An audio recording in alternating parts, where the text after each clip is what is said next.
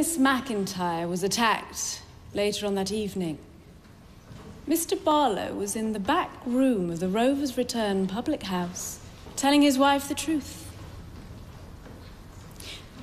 So you must ask yourselves this crucial question Why would Mr. Barlow confess to damning and humiliating details that only Miss McIntyre would have known if he himself already thought her to be dead? Does that sound like the next logical step for a man who's just committed murder? The murder of the only other person who could verify these details. This illogical leap must not be underestimated. Indeed, it is a leap, is it not? Yet to be credibly accounted for within this room. All part of his grand plan. An elaborate smokescreen. None of these hold water. And not a single piece of evidence says otherwise.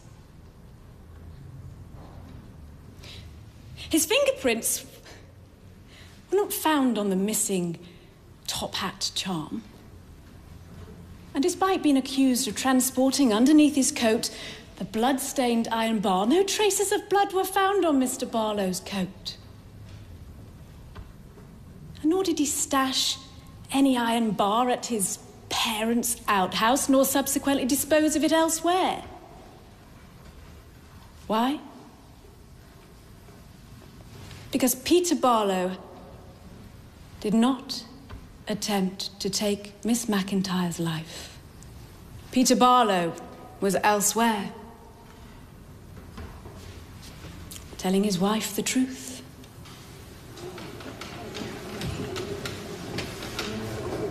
I've also heard from witnesses stating that Mr. Barlow was seen entering and exiting Miss McIntyre's flat in an agitated state. From Mrs. Barlow, we have an account of the defendant's subsequent confession of his affair with Miss McIntyre. You've heard details of a brutal and heinous crime. You must decide whether you are sure Mr. Barlow is guilty of this crime. I urge you to base your decision only on the evidence you have heard in this case. You're not deciding whether Mr. Barlow is a, a bad man, an immoral man who deserves punishment for his various infidelities and foibles. You are deciding whether there is sufficient evidence to find Mr. Barlow guilty of the murder of Miss Tina McIntyre.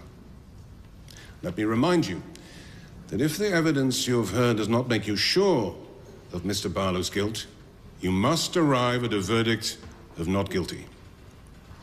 And remember, your verdict must be unanimous. Will you please now retire?